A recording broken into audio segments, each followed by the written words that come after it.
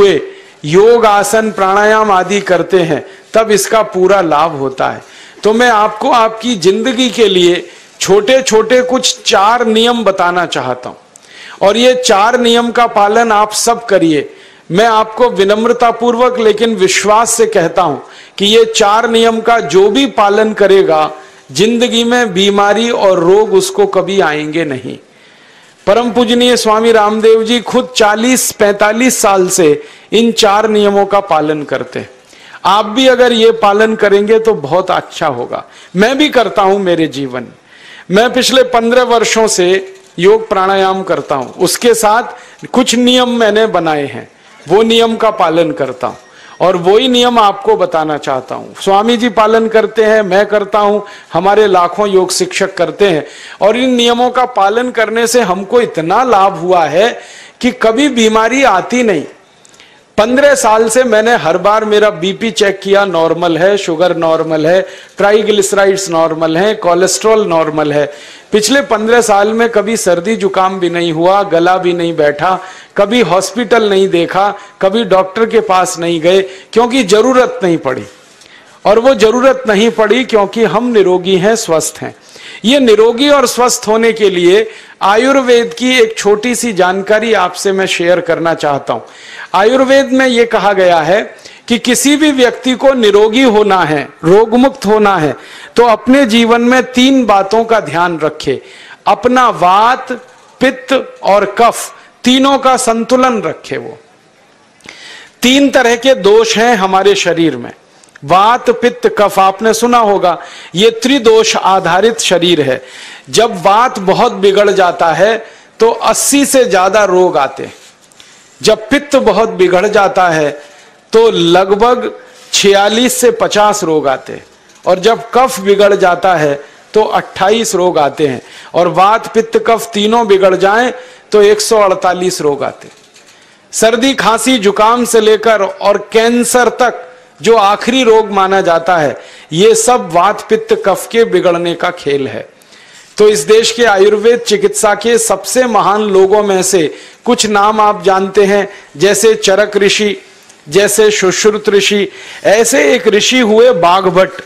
बाघभट्ट ऋषि ने एक पुस्तक लिखी है, उसका नाम है अष्टांग हृदयम, और एक पुस्तक लिखी है, उसका नाम है अष्टांग संग्रहम। इन दोनों पुस्तकों में उन्होंने सात हज़ार नियम बताए हैं। उनमें से चार बताता हूँ।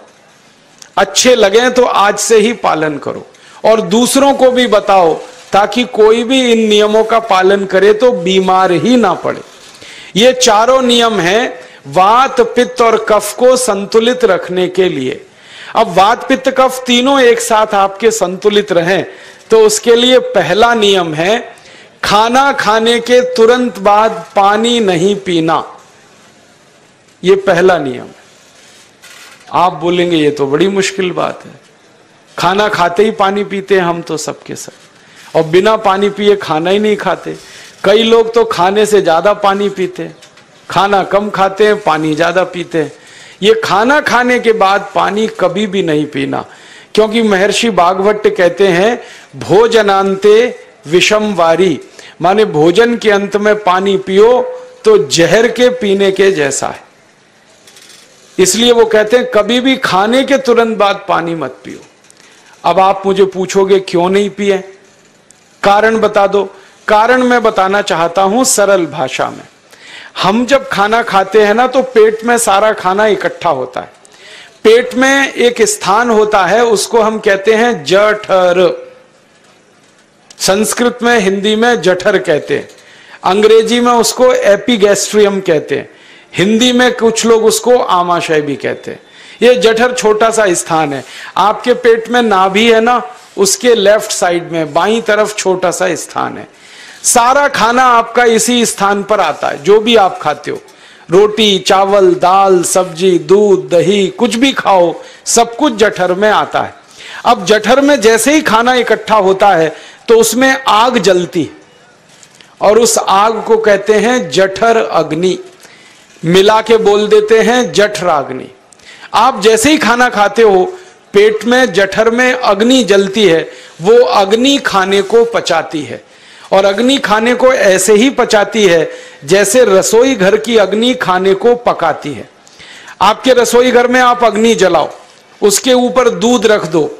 दूध में थोड़ा चावल डाल दो। अग्नि जब तक जलती रहेगी, खीर तब तक बनती रहेगी। आप घर में अग्नि जलाओ, उसके ऊपर पानी रख दो, उसमें दाल डाल दो। दाल की पकने की क्रिया तब तक चलेगी जब तक अग्नि जलेगी।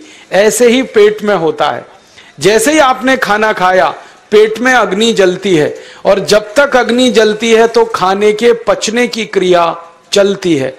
जैसे रसोई घर में खाना पकाते हैं, वैसे ही पेट में भी खाना पकता है।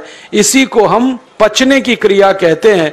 अंग्रेज़ी में उसको डाइजेशन कह देते तो आपने खाना खाया, पेट में अग्नि जल गई, अब वो खाने को हजम करेगी, पचाएगी। अब मुझे एक प्रश्न का उत्तर दो आप, कि जैसे ही आपने खाना खाया, पेट में अग्नि जल गई और वो खाने को पचा रही है, तुरंत आपने गट गट गट गट पानी पी लिया।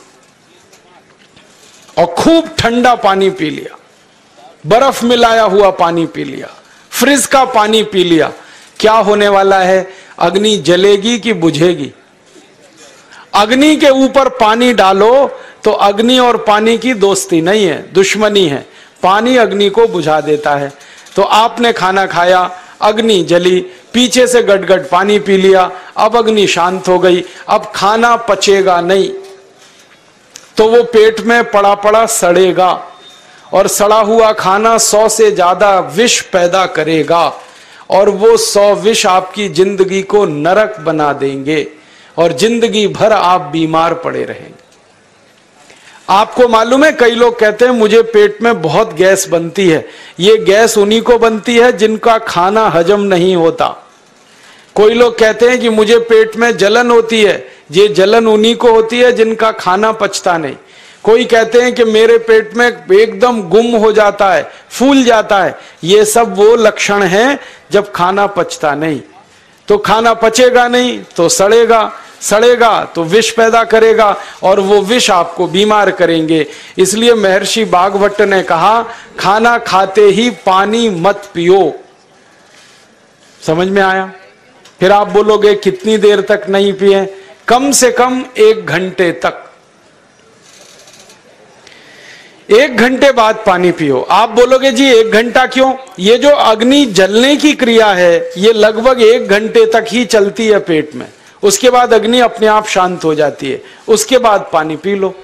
तो खाना अगर 10 बजे खाया तो 11 बजे पानी पियो। 11 बजे खाया तो 12 बजे पियो। 12 बजे खाया तो 1 बजे पियो। एक घंटे बाद पानी पियो। अब आपके मन में यह सवाल आ सकता है कि खाना खाने के पहले पी लें क्या? हाँ पी लो। 40 मिनट पहले पेट भर के पानी पी लो। 10 बजे खाना खाना है, नौ बज के बीस मिनट पे खूब पानी पी लो, जितना पी सकते हो। ग्यारह बजे खाना खाना है, दस बज के बीस मिनट पे पी लो, खूब पानी पी लो, चालीस मिनट पहले। आप और एक सवाल पूछ सकते हो कि अच्छा ठीक है खाने के बाद पानी तो नहीं पिएँगे कुछ और पी सकते हैं क्या पानी को छोड़कर? तो उसके लिए बागभट्ट जी कहते हैं कि खाने के तुरंत बाद अगर पीना है तो दही की लस्सी पियो, मट्ठा। खाने के बाद अगर तुरंत पीना है तो फलों का रस पियो। गन्ने का रस पी लो, संतरे का रस पी लो, मुसम्मी का रस पी लो, अनार का रस पी लो। अब आप कहोगे, ये सब महँगी महँगी चीज़ें बता रहे हैं। गन्ने का रस, संतरे का रस, अनार का रस, पैसे तो है नहीं। तो सबसे सस्ता रस है, नींबू का ही रस पी लो। शिकंजी बना के पी लो। वो तो सबसे सस्ता है। तो खाना खाने के बाद या तो दही की लस्सी पियो या रस पियो। और एक तीसरी चीज़ है, दूध पी सकते तो खाने के तुरंत बाद पीना है तो दही की लस्सी या मट्ठा, खाने के तुरंत बाद पीना है तो कोई फल का रस, खाने के तुरंत बाद पीना है तो दूध। पानी एक घंटे बाद पियो। और अगर एक बात ध्यान रखो तो अच्छा है कि सवेरे खाना खाते हैं जिसको हम ब्रेकफास्ट कहते हैं नाश्ता। तो फलों का रस पीना अच्छा दोपहर को खाना खाएँ तो लस्सी और मट्ठा पीना अच्छा और रात का खाना खाएँ तो दूध पीना अच्छा। जो लोग इस नियम का पालन कर सकते हैं, ज़िंदगी में कभी भी 80 रोग उनको नहीं हो सकते। वात, पित्त, कफ तीनों ही इस एक छोटे से नियम से संतुलित रहते हैं। तो ये पहला नियम मैंने आपसे कहा। दूसरा नियम एक और है। और वो नियम ये है कि पानी कभी भी पियो, घूट घूट भर के पियो। जैसे गरम चाय पीते हैं, गरम कॉफ़ी पीते हैं, गरम दूध पीते हैं, एक एक घूट भर के, एक एक सिप करके ऐसे ही पानी पीने की आदत डालो। ये मुँह में एक बार गिलास लगा लिया, गटागट उसको खाली कर दिया, ये तरीका गड़बड़ है। एक घूट पानी, दो घूट पानी, एक बार में उतना ही पियो। आप बोलोगे, ये क्या चक्कर है? बात ऐसी है कि एक एक घूट पानी जब हम पीते हैं तो मुँह की लार पानी के साथ मिलकर पेट में अंदर जाती है। और ये जो मुँह की लार होती है, ये क्षारीय होती है और पेट में हमेशा अम्ल बनता रहता है। तो एक घूट पानी पिया, मुँह की लार इसके साथ अंदर गई, दो घूट पिया और ज़्यादा गई बार बार लार अंदर जाएगी तो क्षार पदार्थ पेट के अम्ल के साथ मिलेगा। पेट में अम्ल बनता है, मुँह में लार क्षारीय होती है। तो ये क्षार को अम्ल में मिला दिया जाए और ये अच्छे तरीके से मिलकर पेट में जाए तो कभी भी कोई व्यक्ति के पेट को अम्लता नहीं होती, एसिडिटी नहीं होती और पेट में अम्लता नहीं होती तो रक्त में अम्लता नहीं होती और जिनके रक्त में अम्लता नहीं होती, उनकी ज़िंदगी में कभी भी वात, पित्त, कफ के असंतुलन की स्थिति पैदा नहीं होती। इसलिए पानी घूट घूट करके पीना। मैं आपको एक छोटा सा मेरा ऑब्जर्वेशन बताता हूँ परीक्षण। आप भारत देश में या दुनिया में कहीं भी जाओ, मनुष्य को छोड़कर पशु पक्षियों को देखना शुरू करो, वो पानी कैसे पीते। किसी चिड़िया को पानी पीते हुए देखो, किसी पक्षी को पानी पीते हुए देखो, वो चोंच के एक बूंद के बराबर ही पानी उठाता है। एक बार में एक बूंद पानी लेगा फिर थोड़ी देर चोंच चलाएगा, फिर पिएगा, फिर दूसरी बूंद लेगा, फिर चोंच चलाएगा, फिर पिएगा, फिर तीसरी बूंद। एक एक बूंद पक्षी पानी पीता है। कुत्ते को पानी पीते हुए देखो चाट चाट के पानी पीता है। शेर को पानी पीते हुए देखो चाट चाट के पानी पीता है। जितने जानवर चाट कर पानी पीते हैं, जितने पक्षी एक एक घूंट पानी पीते हैं, किसी भी पक्षी और किसी भी जानवर को डायबिटीज़ नहीं है। किसी को अर्थराइटिस नहीं है। कोई पक्षी ओवरवेट नहीं है। कोई पशु ओवरवेट नहीं है। वो सब स्लिम और ट्रिम है, क्योंकि वो इतने होशियार हैं कि पानी चाट के पीते हैं या घूट घूट करके पीते अब मुझे ये हैरानी होती है कि ये पशु पक्षियों को कौन सिखाता है? वो अपने जन्म से ये ज्ञान सीख के आते उनका कोई गुरु नहीं है, उनका कोई विद्यालय नहीं है उनके कोई प्रशिक्षण शिविर नहीं लगते। फिर भी उनको इतनी अकल है कि पानी घूट घूट पीना। और हम ये मनुष्य जिनके इतने गुरु, इतने विद्यालय, इतने कॉलेज, सीखने वाले, सिखाने वाले, और हम मूर्खों के मूर्ख गटागट गटागट पानी पीते रहते। तो पानी पीने का तरीका बदल दो। घूट घूट भर के पानी पियो। ये दूसरा नियम है। तीसरा नियम है कि ज़िंदगी में कितनी भी प्यास लगे, ठंडा पानी कभी मत पियो। बर्फ़ डाला हुआ पानी, फ्रिज में रखा हुआ पानी, वाटर कूलर का पानी, जिसका तापमान बहुत कम है, ये कभी मत पीना। क्यों? क्योंकि शरीर आपका गर्म है और पानी ठंडा है। अब होता क्या है, वो मैं समझाता हूँ सरल भाषा में। पेट तो गर्म है, अब इसमें ठंडा पानी डाल दिया आपने तो अंदर झगड़ा होता है। और झगड़ा क्या होता है? या तो पानी पेट को ठंडा करेगा, या पेट पानी को गर्म करेगा। अगर पानी ने पेट को ठंडा कर दिया तो पेट के ठंडा होते ही हृदय ठंडा होता है। हृदय के ठंडा होते ही मस्तिष्क ठंडा होता है। मस्तिष्क के ठंडा होते ही आदमी ठंडा होता है और आदमी ठंडा होते ही राम नाम सत्य होती है।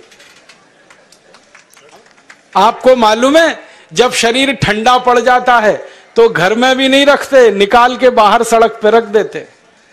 जो घर आपने बनाया अपनी मेहनत से, शरीर के ठंडा पड़ते ही निकाल बाहर करते हैं उस घर में से। और फिर चिल्लाने लगते हैं, लेके जाओ, जल्दी लेके जाओ, इसको जला के आओ। माने ठंडे शरीर की इज़्ज़त नहीं है। तो ठंडा पानी क्यों पी रहे हो भाई? बंद कर दो। कोई जानवर ठंडा पानी नहीं पीता, कोई पक्षी नहीं पीता। तो आप ये ठंडा पानी पीना बंद करो, सादा पानी पीना शुरू करो। और गर्मी के दिनों में बहुत अगर आपको तकलीफ़ है तो मिट्टी के घड़े का पानी पी लेना, फ्रिज का और बर्फ़ का नहीं पीना। ये तीसरा नियम है। और चौथा और आखिरी नियम है कि आप सवेरे ही सवेरे जब सोकर उठते हो तो सबसे पहले पानी पियो। जैसे ही आपकी आँख खुल गई तो पहले दो तीन गिलास पानी पी लो। उसके बाद आप टॉयलेट में जाओ। उठते ही पानी पियोगे तो दो फ़ायदे हैं। पहला फ़ायदा यह है कि पानी पेट में जाकर बड़ी आंत को साफ़ करता है। और जैसे ही बड़ी आंत की सफ़ाई होगी, पेट पे दबाव पड़ेगा और आप संडास घर में जाएँगे दो तीन मिनट में पेट आपका साफ़ हो जाएगा। जिनका पेट सुबह एक बार में साफ़ हो जाता है, उनकी ज़िंदगी में कभी रोग नहीं आता। इसलिए सुबह सुबह उठते ही पेट साफ़ होना ज़रूरी है। और उठते ही पानी पियोगे तो मुँह की जो लार है, वो पानी के साथ मिलकर अंदर जाएगी। सुबह पेट में एसिड की मात्रा ज़्यादा होती है, इसलिए लार का पेट में जाना बहुत ज़रूरी है। इसलिए सुबह उठते ही पानी पीना बहुत ज़रूरी है। ये चार नियम हैं आयुर्वेद के। पहला नियम, खाना खाने के एक घंटे बाद पानी पीना। दूसरा नियम पानी को हमेशा घूट घूट भर के पीना। तीसरा नियम, कभी भी ज़िंदगी में ठंडा पानी नहीं पीना। और चौथा और आखिरी नियम, सवेरे उठते ही सबसे पहले पानी पीना। चार नियमों का पालन जो भी अपने जीवन में कर सकता है, वो वात, पित्त, कफ तीनों को संतुलित रख सकता है। और जिसका वात, पित्त, कफ संतुलित है, उसके जीवन में बीमारी नहीं आती है। और जो बीमार नहीं पड़ते हैं वो स्वस्थ और तंदुरुस्त और सुखी रहते हैं। उनकी ज़िंदगी का खर्चा कम होता है और देश का भी बहुत सारा पैसा बचता है। आपको शायद मालूम है या नहीं, एक साल में हम जब बीमार पड़ जाते हैं भारतवासी तो साल का करीब छह लाख करोड़ रुपया हमारा खर्च हो जाता है उन बीमारियों का इलाज करने में। इसलिए इतना पैसा फालतू में हम खर्च करें हर साल, छह लाख करोड़, ये बहुत बड़ी रकम है। इससे बेहतर यह है कि हम बीमार ही नहीं पड़े और स्वस्थ रहें, सुखी रहें। और ये छह लाख करोड़ का जो खर्चा हम करते हैं बीमार पड़ने पर, अक्सर ये एलोपैथी की दवाएँ खाने में खर्च होता है।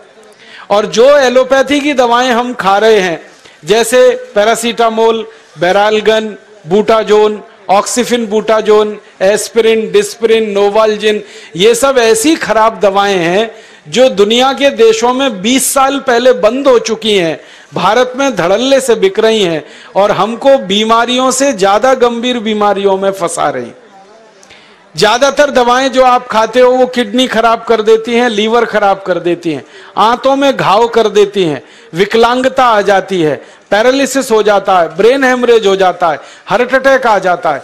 दुनिया में लगभग इस समय चौरासी हज़ार दवाएँ बिकती हैं। और आपको सुनकर हैरानी होगी। उनमें से मात्र 117 दवाएँ हैं जो काम की हैं, बाकी सब बेकार की दवाएँ हैं। उन बेकार की दवाओं को खाकर हम छह लाख करोड़ खर्च करते हैं। ये बहुत दुख और अफसोस की बात है। और ये छह लाख करोड़ का खर्चा समाज के वो लोग करते हैं जिनको ज़िंदगी में हर समय अपना आर्थिक स्थिति को देख के चलना पड़ता है, जिनकी आमदनी बहुत नहीं है। जिनके घर में आमंदनी के बहुत ज़्यादा साधन नहीं है, उनको ये पैसा खर्च करना पड़ता है। तो कई बार क्या होता है, किसी का घर बिक जाता है, किसी का खेत बिक जाता है, किसी के घर के गहने गिरवी रख जाते हैं, किसी को कर्ज लेना पड़ जाता है, किसी को कर्ज लेकर दोबारा कर्ज लेना पड़ जाता है। मैंने इस हिंदुस्तान में पिछले पंद्रह साल के प्रवास में देखा कि गाँव गाँव के गरीब किसान कर्ज ले लेकर ये महँगी दवाएँ खाकर इलाज करते हैं, डॉक्टरों को पैसा देते हैं, दवा कंपनियों को देते हैं। और वो पैसा फिर इस देश में से दूसरे देश में चला जाता है, क्योंकि अक्सर ये दवाएँ बनाने वाली कंपनियाँ विदेशी होती है। तो हम छह लाख करोड़ खर्च करें, अपने खून पसीने की कमाई का, उससे अच्छा ये है, बीमार ही ना पड़े, दवा खाने की ज़रूरत ही ना पड़े तो हम सुखी रहें, स्वस्थ रहें तो योग प्राणायाम करें। चार नियमों का जीवन में पालन करें, बहुत आसान है आपके लिए। और अब एक छोटी सी एक बात और आप